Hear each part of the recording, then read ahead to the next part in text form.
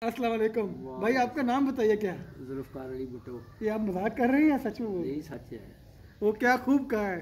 ہر گھر سے بھٹو نکلے گا تم کتنے بھٹو مارو گے؟ شیخ رشید نے کیا خوب کہا ہے۔ ایک دن ہم سب مر جائیں گے بھٹو اکیلا گلی میں پھر رہا ہوگا۔ کہنے کا مقصد یہ ہے کہ یہ بھائی جان کا بھٹو سے کوئی تعلق نہیں ہے۔ ان کے والد صاحب کا بھٹو کو بڑا پیار تھا۔ صحیح بات ہے؟ ہاں، ان کو بہت مانتے تھے۔ انہوں نے اسی محبت میں اپنے بچے کا نام کیا رکھا بھائی؟ ذوالفقار علی بھٹو۔ حالانکہ یہ لوگ رانے ہیں صحیح ہے؟ رانے ہیں۔ لیکن اس طرح ہی بھٹو یہ ایک نہیں بہت ساری مثالیں آپ کو امریکہ پاکستان میں کئی کئی گاؤں میں نظر آ رہی ہوں گی۔ جس نے اپنے پیار سے بھٹو کی محبت میں لوگوں کا نام بھٹو رکھ دیا۔ کیا آپ بھی بھٹو کو مانتے ہیں؟ بالکل ابھی تک؟ شدائی ہیں ان کے۔ تو آپ نے ووٹ بھی پیپل پارٹی کو دیا ہوگا؟ کو۔ تو آپ کو افسوس نہیں ہے کہ اب بھٹو والی قیادت کہاں وہ بلاول بھائی کے بھٹو کو بھٹو ہی تھا وہ۔ بھٹو ایک ہی تھا واحد تھا۔